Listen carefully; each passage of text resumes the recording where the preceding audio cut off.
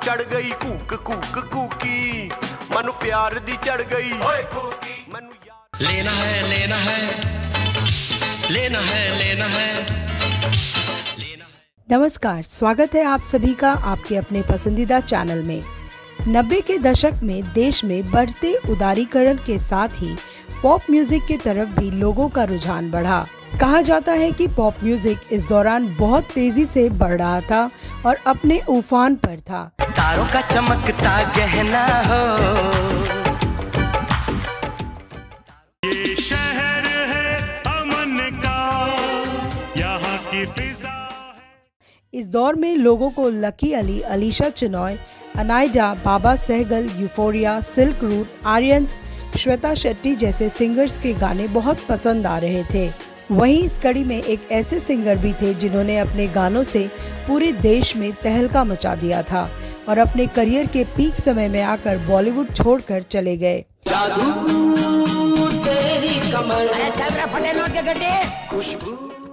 उसने बोला केम छे केम छे केम छे। मैंने बोला केम छे। कुछ एक्स्ट्रा इनकम के लिए दोस्तों संग गिटार बजाने वाले इस सिंगर ने न केवल बॉलीवुड में अपनी गहरी छाप छोड़ी, बल्कि विदेशों में भी बहुत कामयाब रहे।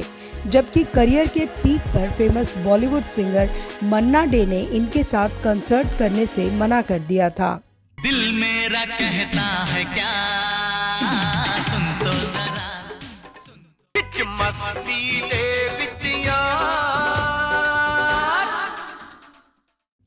उम्मीद है आप सब इस सिंगर को पहचान गए होंगे। यकीनन आप सिंगर को ना पहचान पाए हों, लेकिन इनके गाए गीतों पर तो ज़रूर ही झूमे होंगे। अपने देश से बेहद लगाव रखने वाले और करियर में एक सिंगर, गीतकार और संगीतकार रहे इस शख्स को दुनिया बाली ब्रह्म भट्ट के नाम से जानती है।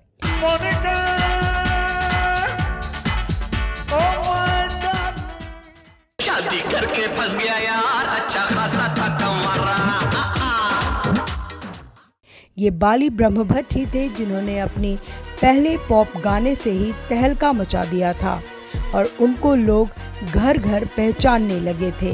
लेकिन अचानक अपने करियर के पीक समय में आकर बॉलीवुड छोड़कर विदेश में शिफ्ट हो गए। जानेंगे इस सिंगर के बारे में विस्तार से। आप बने रहिए हमारे साथ।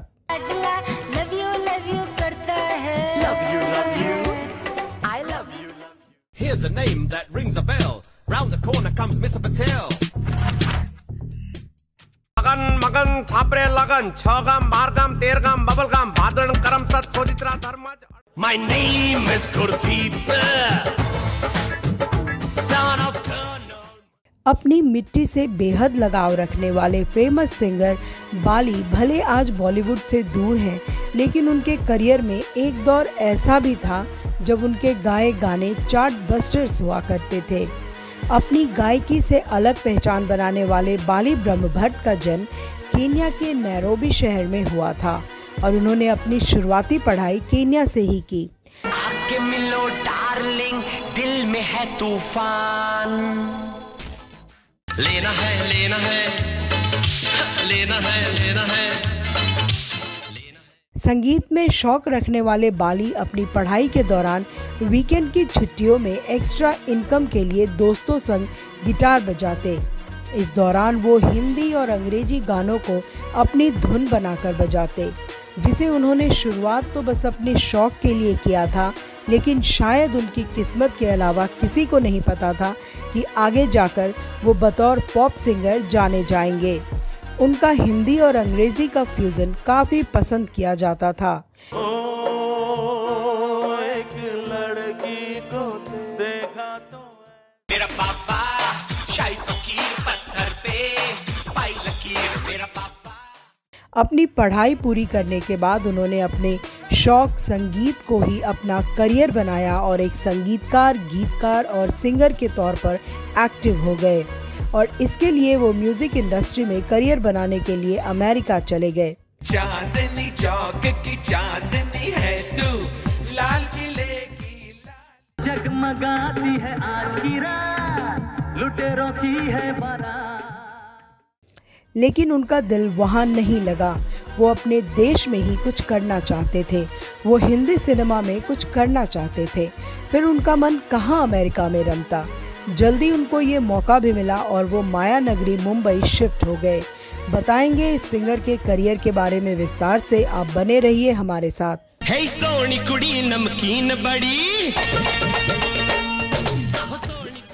अभी भी ट्विस्ट करेंगे ट्विस्ट अभी भी ट्विस्ट करेंगे ट्विस्ट आटा मेरा पानी न मांगे मैं वो सांप हूँ काला आज तो बच के जा न सकेगी घर वाले घर नहीं हमें किसी का डर नहीं। घर वाले घर नहीं।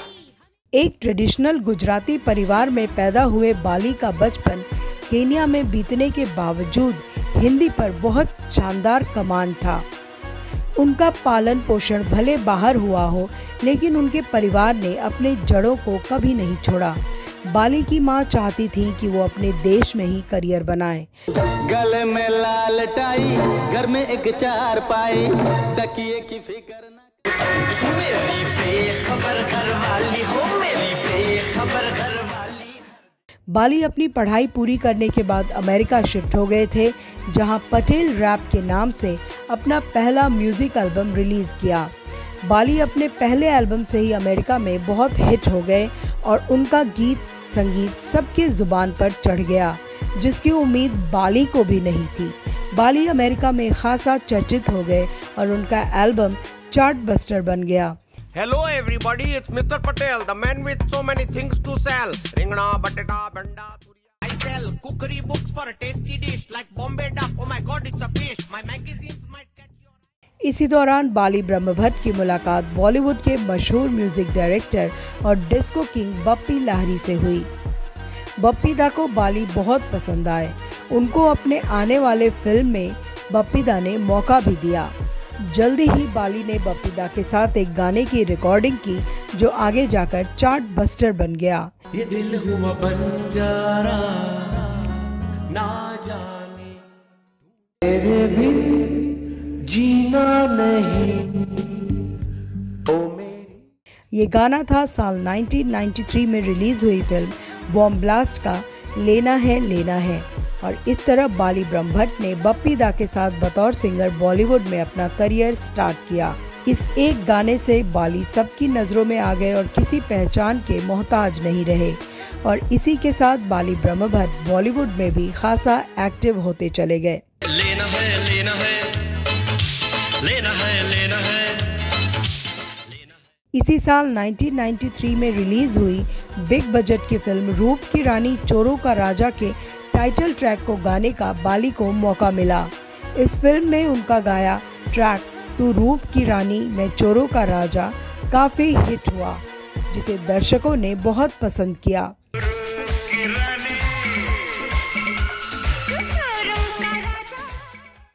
बाली ब्रह्मभट्ट अब बॉलीवुड में बढ़िया नाम कमा चुके थे और लोग उनको सुनना पसंद करते थे। इसी दौरान बाली का वो गाना रिलीज़ हुआ जो उस दौर के हर नौजवान की ज़ुबान पर चढ़ गया। ये गाना इतना प्रभावी रहा कि आज भी युवाओं में इस गाने का क्रेज देखते ही बनता है।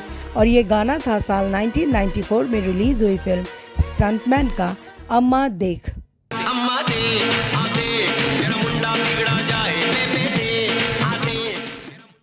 इस एक गाने से बाली ब्रह्म भट्ट की पॉपुलैरिटी आसमान छूने लगी और उस दौर के तमाम टॉप पॉप सिंगर्स की कतार में वो आ गए। इसके बाद बाली ब्रह्म भट्ट एक के बाद एक हिट देते चले गए और सफलता पाते गए। साथ रहकर मुझे होना नहीं है जो आया हूँ जहाँ से वो बड़ा ऊँचा घराना है।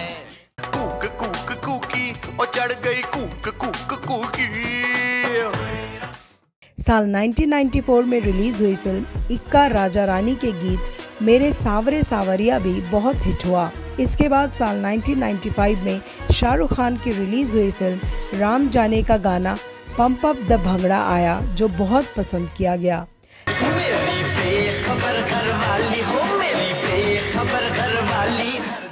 Pump up the bhangra pump up the bhangra.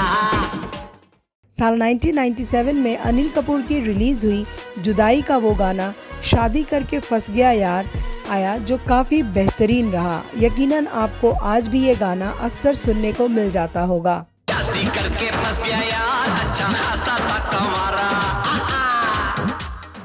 बाली ब्रह्म भट्ट का साल 2000 में फ़िल्म जिस देश में गंगा रहता है का गाया एक गाना, केम छे केम छे तो सबकी ज़ुबान पर चढ़ गया था, जिससे पूरा देश उनके साथ केम छे गाने लगा था।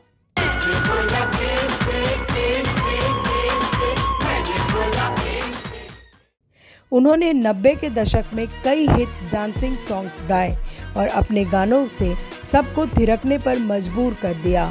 साल 2003 में रिलीज़ हुई फ़िल्म, वैसा भी होता है के लिए अपना लास्ट गाना गाया बाली ने। और इसके बाद वो बॉलीवुड और देश दोनों ही छोड़कर लंदन शिफ्ट हो गए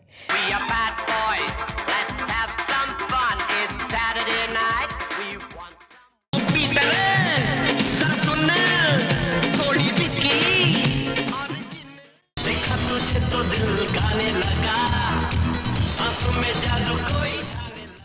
को बारह बजे दिन निकलता है सुबह को छह बजे बाली ब्रह्म भट्ट ने न सिर्फ़ अपने करियर में गाने गाए, बल्कि संगीतकार भी रहे। साल 2002 में रिलीज़ हुई फ़िल्म हम तुम्हारे हैं सनम के लिए संगीत भी तैयार किया, जो दर्शकों को बहुत पसंद आई। इस फ़िल्म के लिए उन्होंने गाने भी गाए।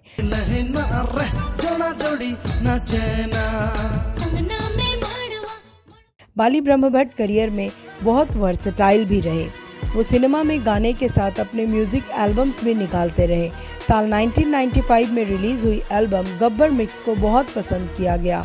वहीं अपने पहले एल्बम पटेल रैप के और भी वर्जन पर काम करते रहे और रिलीज़ किया जिसका जादू अपने पहले एल्बम की तरह चलता रहा। यहाँ पे सब शांति शांति है। यहाँ पे सब साल 1999 में रिलीज़ हुआ उनका एक और एल्बम कमाल ही कमाल का कूक कूक कुकी और चढ़ गई। सॉन्ग बेहद हिट रहा। इस गाने को आज भी बहुत याद किया जाता है और हर शादी ब्याह इसके बिना कोई भी डांस पूरा नहीं माना जाता। मनु प्यार दी चढ़ गई। मनु यार दी चढ़ गई। मनु प्यार बॉलीवुड में बतौर सिंगर म्यूज़िक डायरेक्टर और रैपर बाली ब्रह्म भट्ट ने कई सुपरहिट सॉन्ग्स दिए। इसके बाद इंडस्ट्री को अलविदा कह दिया और अचानक सिनेमा जगत से गायब हो गए। दरअसल उनके बॉलीवुड छोड़ने पर कहा जाता है कि बाली ब्रह्म भट्ट को बॉलीवुड में मन ही नहीं लग रहा था। वो आराम से फैमिली के साथ टाइम बिताना चाह रहे थे और बॉलीवुड की भाग दौड़ की दुनिया से आराम से जीवन बिताना चाह रहे थे। जो बॉलीवुड में एक्टिव रहते, थोड़ा मुश्किल हो रहा था उनके लिए।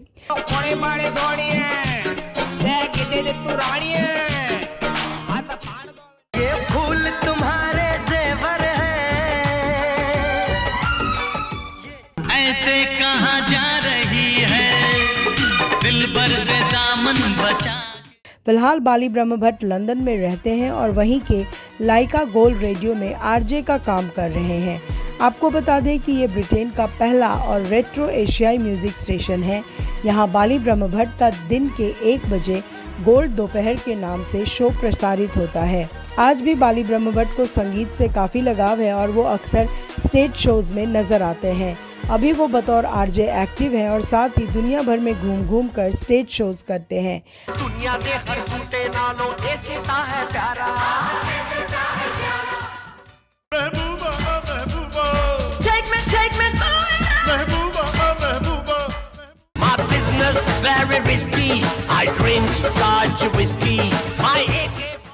आगे बताएँगे मन्ना डे और बाली। के जीवन का वो मशहूर घटना जिसके बिना ये एपिसोड पूरा नहीं होगा। आप बने रहिए हमारे साथ। मियाँ बीवी ऊपर वाले ने क्या चीज़ बना दी?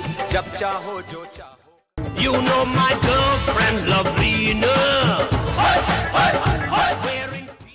चलते चलते बाली ब्रह्म के साथ हुए एक घटना का ज़िक्र करना ज़रूर चाहेंगे जो एक समय में मीडिया की सुर्खियाँ बन गई थी। दरअसल बाली ब्रह्म गोवा में कॉन्सर्ट कर रहे थे। इसी कॉन्सर्ट में मशहूर सिंगर मन्ना डे को भी उनके साथ परफॉर्म करना था। लेकिन इसी दौरान मन्ना डे ने बाली ब्रह्म भट्ट के साथ परफॉर्म करने से मना कर दिया।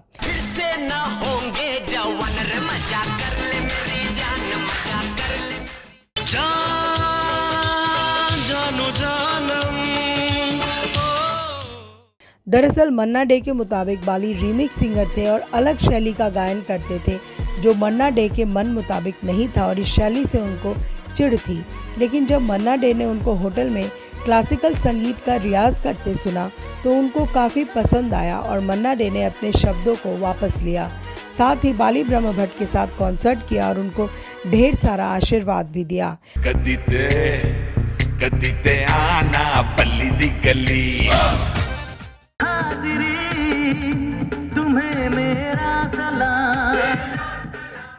जब पास मेरे वो आती है। आज के एपिसोड में बस इतना ही। हम उम्मीद करते हैं कि आज का हमारा ये एपिसोड आपको पसंद आया होगा। साथ ही ये भी उम्मीद करते हैं कि बाली ब्रह्म भट्ट जहाँ भी होंगे, वो स्वस्थ होंगे और जल्दी ही बॉलीवुड में दोबारा दमदार कम करेंगे और अपने गानों से लोगों का मनोरंजन भी करेंगे। फ़िलहाल हमें दीजिए इजाज़त और आपसे रिक्वेस्ट है कि हमारे चैनल को लाइक और सब्सक्राइब ज़रूर कीजिए। नमस्कार।